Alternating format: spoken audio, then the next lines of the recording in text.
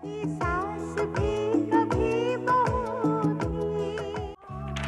बेटे? हाँ दादी। कॉलेज जा रही है ना? जी। तो कॉलेज में वो भी होगा। कौन? गौतम। एक काम करती हूँ मैं तेरे साथ कॉलेज चलती हूँ। दादी। और जाकर कान पकड़ के उसे ले आती हूँ। कह दूँगी कि वो हमारा गौतम है। कोई नहीं मिलेगा उससे।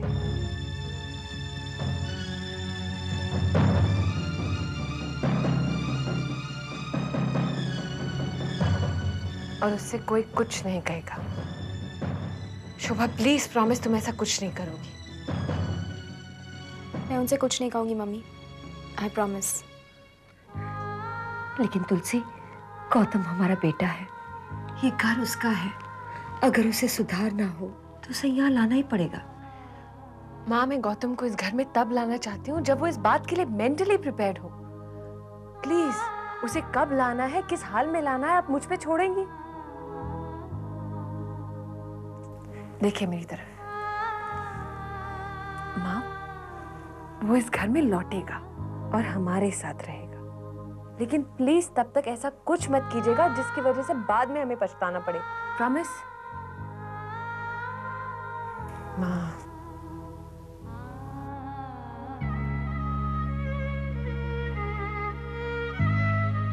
शोभा,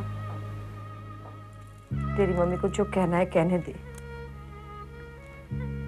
लेकिन तू आज जाकर उसे बता देना कह देना कि वो हमारा गौतम है।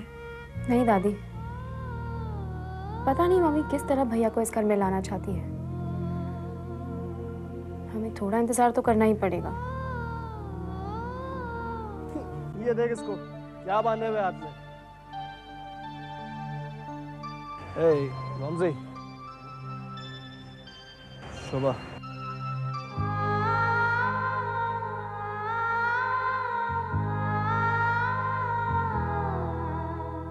वो तो इधर ही आ रही है।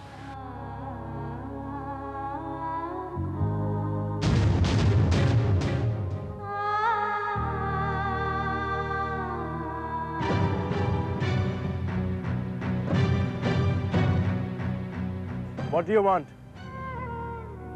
वो अम, हाँ हाँ बोलो। क्या चाहिए? रोहन जब मेरे पास फ्रेंडशिप बैंड लेकर आया था ना उसका ये एटीट्यूड मुझे बहुत अच्छा लगा था। तो? कॉलेज में ऐसे छोटे छोटे झगड़े तो होते ही रहते हैं। हमें ऐसे झगड़ों को दिल से नहीं लगाना चाहिए ना?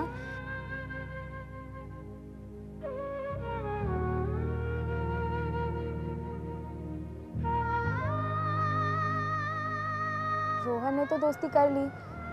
क्या हम अपने झगड़ों को भुलाकर दोस्ती नहीं कर सकते?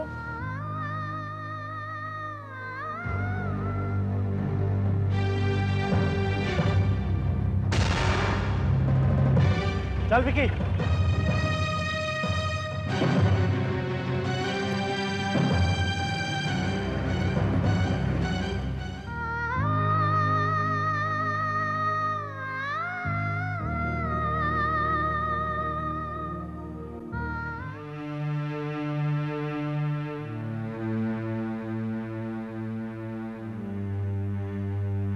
आज नाश्ते की टेबल पर इतनी शांति। कोई कुछ खा भी नहीं रहा कुछ बोल भी नहीं रहा। क्या बात है? खाते समय बात करना बुरी बात है। ऐसा माँ कहती है।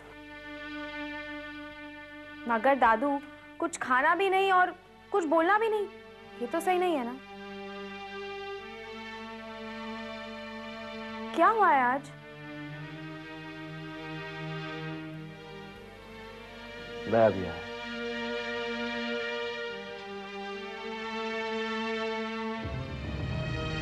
लगता है तुम इस घर के संस्कार भूल गए जी। हाँ। आज भी सुबह का नाश्ता इस घर में लोग साथ मिलकर करते सॉरी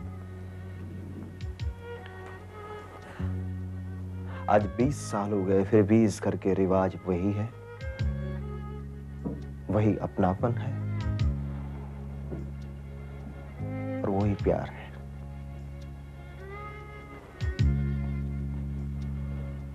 नाश्ते के लिए आओ हम लोग इंतज़ार कर रहे हैं।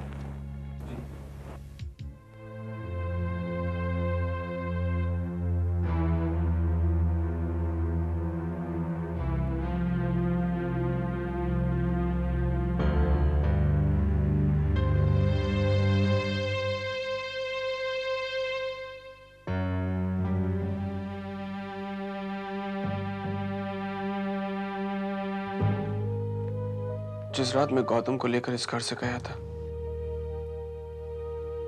वो रात मेरी ज़िंदगी में ग्रहण बनकर ठहर गई है। आप सब लोगों का गुनहगार हूँ। इसलिए आप सबसे हाथ जोड़कर माफ़ी माँगता हूँ। मैं मैं अपने किए पर बहुत शर्मिंदा हूँ। शर्मिंदा? शर्मिंदा तो मैं हूँ, किरण। क्योंकि मेरे ही खून ने मेरा सर शर्म से झुका दिया है। गौतम की ज़िंदगी बर्बाद करके करिश्मा को उसके भाई से जुदा करके अपनी माँ से नाता तोड़कर तुमने मेरा अपमान किया है मेरा किरण।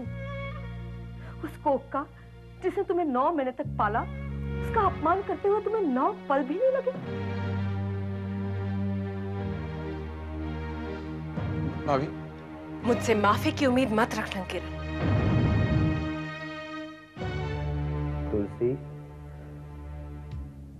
बेटे, इसने जो गुनाह किया है, उसके लिए माफ़ी तो नहीं दी जा सकती, लेकिन उसे उसकी गलती का एहसास है। पछतावा हो रहा है। उसे माफ़ कर दो। एक गलती तो भगवान भी माफ़ कर देता है। मैं भगवान नहीं हूँ, काका। इतनी महान नहीं हूँ कि इतनी बड़ी गलती माफ़ कर दो। अरे, क्या कसूर था मेरे बेटे का जो आधी रात को उसे लेकर भाग गए दोनों? चलिए शायद तब भी माफ़ कर देती, लेकिन ये परवरिश की है उसकी? ऐसे संस्कार दिए हैं उसे? देखी है आपने गौतम की हालत, काका? कितना अकेला और फ्रस्ट्रेटेड हो गया है वो। नहीं, ये गलती माफ़ी के लायक नहीं है। कहाँ कहाँ ढूंढा तुम्हें? तुम्हारे सारे दोस्तों को कांटेक्ट किया। लेकिन तुम्हारा तो कोई पता ही नहीं था। ये हमारा किरण नहीं हो सकता। ऐसे संस्कार तो नहीं दिए उसे। गौतम को मैं लेके आऊँगा इस घर में। खबरदार किरण मेरे बेटे का नाम दोबारा अपनी मुँह से मत लेना तुम जो गलती मैंने 20 साल पहले की वो दोहराऊँगी नहीं मैं। मेरे बेटे से जो खुशियाँ छीनी तुमने वो मैं लौटाऊँगी उसे। गौतम को इस घर में बेटे का दर्जा मान सम्मान के साथ मैं दिलवाऊँगी उसे। ये मेरा वचन है किरण। तक तुम उसका चेहरा नहीं देखोगे। यही तुम्हारी सजा है।